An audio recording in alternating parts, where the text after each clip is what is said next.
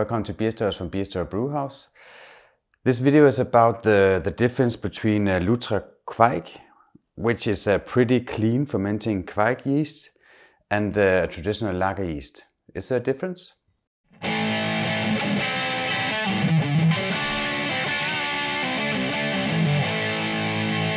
I brewed almost identical beers. It's a double bock, so it's a very clean beer. Um, and I used Kveik, Lutra Kveik in this one.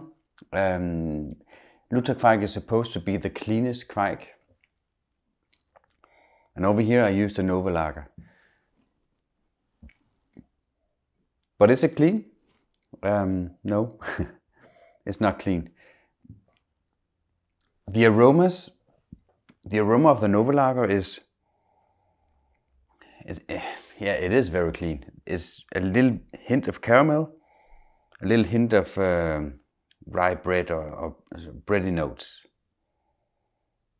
Not rye bread, because you Americans, you think rye bread is, is something entirely different than it is in Denmark.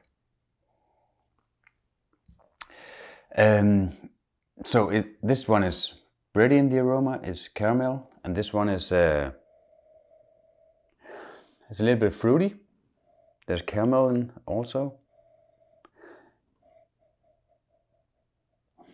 Yeah, but it's fruity. It's uh, yeah, it's definitely not clean like this one.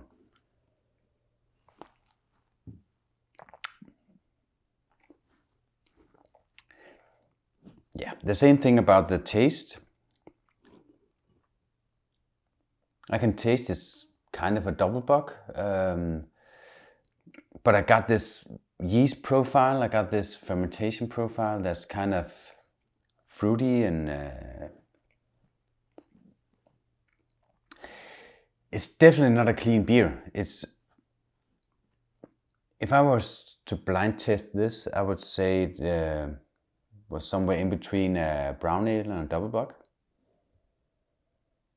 And I get the yeast in the aroma, I get the yeast in the in the flavor.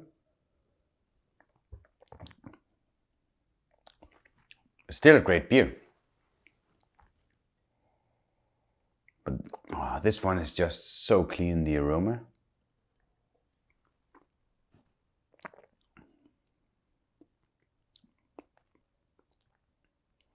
The taste is super clean. It's a little bit bready. It's a little bit caramelly.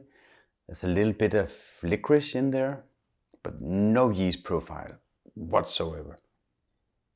Super, super clean. The sweetness comes through in this as well. It gets cut off by the by the bittering hops, but but yeah, but it's it's there.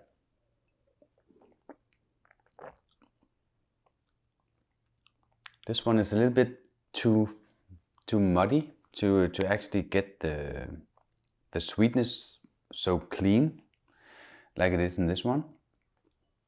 And this it just comes through as a some kind of fruity flavor. I would call it a it actually tastes like a home brewer who didn't have control over the temperature. So the yeast profile just took off in a different direction. I mean, it's a good beer. It's just not a double bock. Not really a double bock. This one is an amazing double bock. Yeah,